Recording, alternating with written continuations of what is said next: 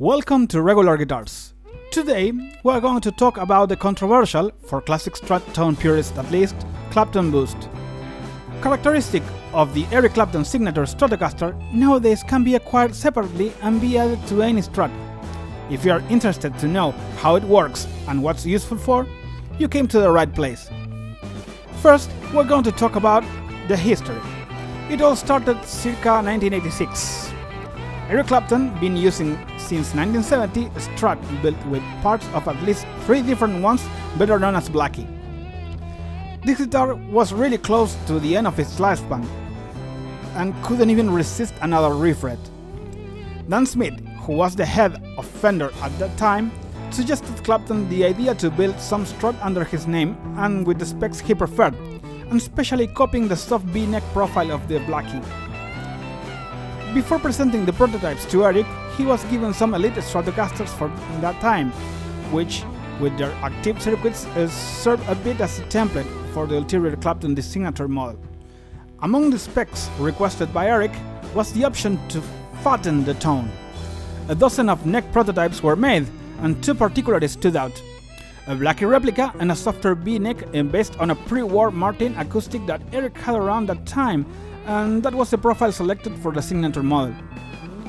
Another of Eric's requests was that the guitar will be made in three colors Ferrari red, 7 Up green, and charcoal grey.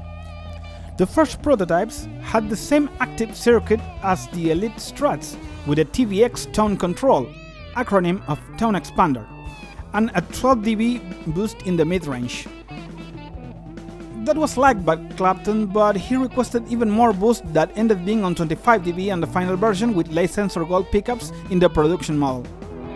At the beginning, it was made only in three colors Torino red, candy green, and pewter grey.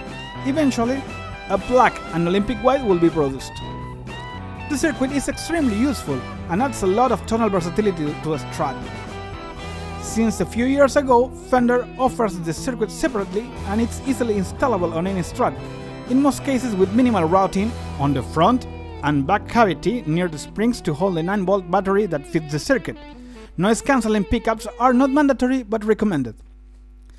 Now we're going to see a couple of examples of the circuit at work on my Partcaster and how it affects the interaction with the tube amp. The Strat is connected directly to a Fender Champ 5F1 clone with new old stock tubes and a period correct Jensen speaker. The volume control acts over the general volume as any Strat. The central tone now is the general tone. The TBX on 5 is like a normal Strat on 10. On 0, darkens the tone and on 10 it gets particularly bright. The second tone control now controls the boost. On 0 we have the normal output of the guitar and it saturates the amp as we roll it up.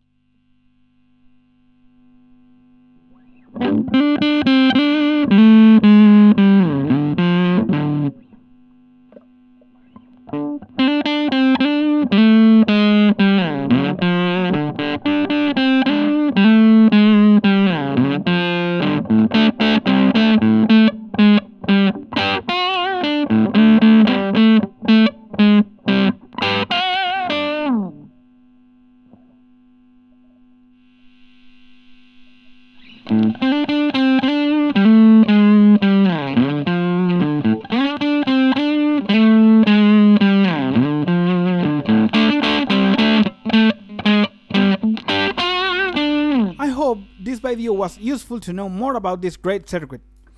If you liked it, don't forget to like, comment and subscribe and hitting the notification bell to keep updated when I upload new videos.